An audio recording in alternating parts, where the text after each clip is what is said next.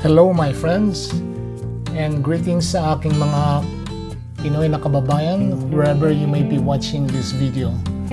So we sailed overnight from um, Phu My, Ho Chi Minh to Nha Trang and uh, we arrived the next morning. There is usually a procedure because uh, the ship is too big and they don't have any uh, port facilities to accommodate the ship this size. So the passengers who are going sa excursion trips, uh, they sinasakay sa tender. These are the small boats on board the, the cruise ships. They have a very good system on uh, on uh, allowing the passengers to board the the tender, depending on your excursion, your schedule of your excursions. So pretty much uh, they had us all gathered at the theater and then when our it's given a number and when your number is called then you are directed to go to the uh, whatever side of the ship they have the stairways to board the uh, the tender. So here we are, we are all boarded for the uh, tender and it's now leaving the uh, cruise ship. Uh, it takes about it took about half an hour from the ship to reach the the, the port, the pier sa Nha Trang uh, side. Uh, the sea is calm, hindi naman malakas ang, ang alon, hindi naman malakas ang hangin. So we, we had no problem reaching the pier on Nha Trang. And ito sa mga coming up photos, uh, this is the picture I, I took from the pier already looking out on the Nha Bay and now we're already uh, met, uh, met our uh, tour guide and we're on board the uh, air-conditioned motor coach and we're now traveling going sa aming uh, first place to visit sa aming excursion. And we're passing this uh, famous Nha Trang beach on uh, on the right side. Uh, this, uh, this is the beach capital of Vietnam. During the Vietnam War, the servicemen uh, love this place. They loved to spend their uh, rest and recu recuperation and mag-unwind dito sa beach na. And here we're uh, passing some street scenes. The same, marami pa rin mga motorcycles uh, on the road.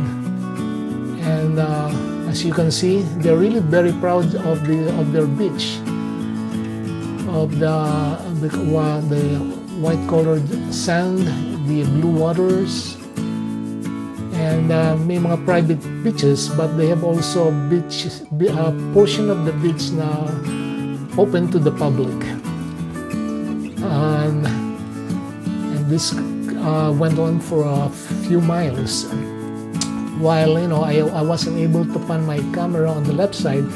Sa left side nandun yung mga towers uh, the condos the hotels the new hotels the restaurants and the uh, the government still uh, under communists but they are encouraging uh, investors.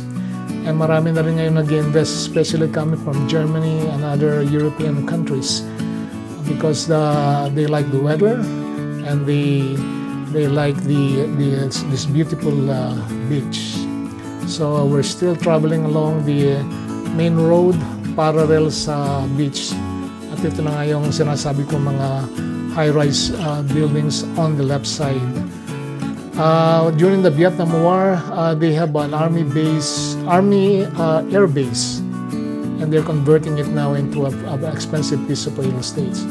So here we are, we reached now our first stop which is the uh, uh, pagoda. And dito sa pagoda, nandito rin yung mga orphanages. So we're now going to the uh, place, nandun yung mga orphans, which basically, they, they only showed us the, the school environment ng mga orphanages, ng mga orphans.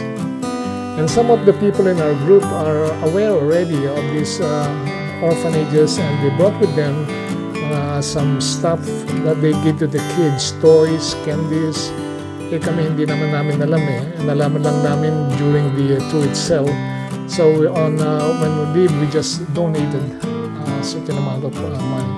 So ito yung mga, mga pagoda, mga pictures of the pagoda. We had, uh, we had a time to take souvenir photos. And this is now inside the classrooms. Nandito yung mga orphans.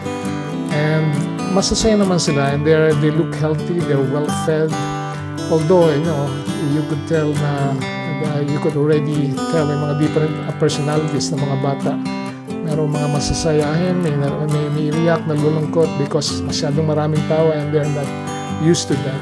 So these are some of the uh, uh, uh, altars, the equivalent of their altars sa loob nitong uh, pagoda area, uh, malapit sa mga orphanages. These are small homes donated by people uh, from Australia, some other European countries. This is uh, another altar. Uh, we, have, we had our souvenir photos. Uh, it's a beautiful place. Uh, the, the monks, uh, the female monks, uh, were taking care of these orphans, and they're it looks like you know they're they're really happy and, and helping the kids from there we, we we were on our way to our next location which was uh, I think uh, we're going to to visit uh, a local uh, Vietnamese house. So we pass all these uh, rice fields on the way there and the scene reminds me of the Philippines you know. Ito, ano, ito we are here already dun sa Vietnamese homes parang open house and it's a very nice house uh, uh, there's a beautiful garden beautiful flowers they have that well uh, which they said they're still using but uh, they, I guess they have other sources of water too so ito sa loob na ng bahay ng Vietnamese and uh, you see all their decoration, all their altars. And then from there, we went to the countryside where ito na, na makikita natin na yung mga farmers, they're working on the fields. But actually, the tour guide told us that this is just for show. Whenever they see, uh, they're, they're being paid, you know, to pretend they're working on the fields. So whenever they see a bus coming, they, they uh, took their positions and pretending they're cleaning up, the, uh, working on the fields. They have carabaos there. Next, we went to this uh, place where they are making these rice uh, papers. And it's very common sa Vietnam itong uh, rice uh, uh, papers. Uh, if you're familiar with that, sometimes they use that in, ma in making egg rolls. The, the soft one, that was the hard ones. So these are again, again some of the country scenes. And this time uh, we, we reached the place where we had our lunch. They have uh, Vietnamese food and uh, Vietnamese folk dances again. And what's really nice about this place was, you know, when we arrived, we were given this uh. You know, we love buko juice. And uh, you can have one, you can have two, you can have as many as you want. But, uh, and it's nice, you know, because it's hot and you have this cold uh, buko juice.